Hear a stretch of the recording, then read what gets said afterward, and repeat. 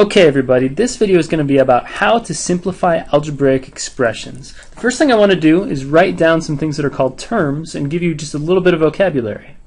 Alright, every single one of these that I wrote down is an example of a term. Now you'll notice that every one of these terms has some kind of a number associated with it. The number associated with each one of these terms is called the coefficient of the term. I want to write down the coefficient of every one of these terms, but I'm noticing that a couple of these terms don't have numbers on them. So for example, this term is called 15y, and this term is called 11xy. This term is just called x. So what's the number on that term? Well, it turns out that there is a 1 associated with that term there. Remember that 1 times anything is just itself. We typically don't like to write that 1 in there because it's just a waste of time. But if you don't see a number on a term, its coefficient is just 1. Likewise, the coefficient of negative a is negative 1 because we can think of this as just negative 1 times a. Okay, I'm going to write down the coefficients. Alright, so there's the list of coefficients associated with each term. And just a little bit more vocabulary. This x, this y, this x, this y, this a, this b, this x, which happens to be squared. Those are all called variables. One thing that we can do with these terms is we can add one or more of them together to form an expression. So just as an example, I took the first three terms and I added them all together, and that there is called an expression. Well, you know something about this expression already. You've already learned that you can take 12 and you can add 12 plus negative 3. You know how to do that. You know that 12 plus negative 3 is 9, so why would we write it this way when we know that it can be simplified? So we can simplify 12 plus negative 3 plus x into just 9 plus x. And the mathematical way of saying what we just did is that we combined our like terms, 12 and negative 3, to make 9. So the question you might be asking now is, can't we just combine 9 with x? Well, as it turns out, 9 and x are not considered to be like terms, so you can't actually combine them together. The only terms you can combine are the like terms, and two terms are called like terms only if they have the same variables raised to the same powers. Let me explain that a little bit better with a couple of examples. So these are all examples of what we call like terms. Obviously from above, 12 and negative 3 were like terms because we combined them to make 9. 5x and 4x are like terms because they have the same variable, that's x, and it's raised to the same power. The power on x in each one of these cases is just 1. If we move down a bit, 2x squared and 8x squared are like terms because they have the same variable, that's x, raised to the same power of 2. So let's look at some examples of terms that are unlike terms. Alright, here in red are some unlike terms. Uh, 9 and x from above we could not combine because the term 9 does not have an x in it.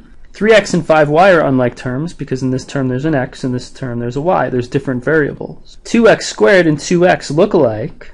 They have the same variable, which is x, and they even have the same coefficient, which is 2. But the power on x here is 2, and the power on x here is 1, so they are not like terms. They're unlike terms. Okay, let's look at some expressions and see if we can simplify some expressions by combining like terms. Okay, the first expression I want to look at is 5x plus 7x. You'll notice that 5x and 7x are like terms because they both have the variable x raised to the first power. So how do we combine them? Well, I like to think of the variable, in this case x, as something like uh, cats.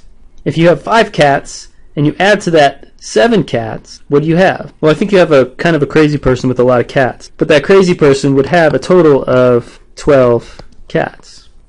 As another example, how would you combine 4a minus a?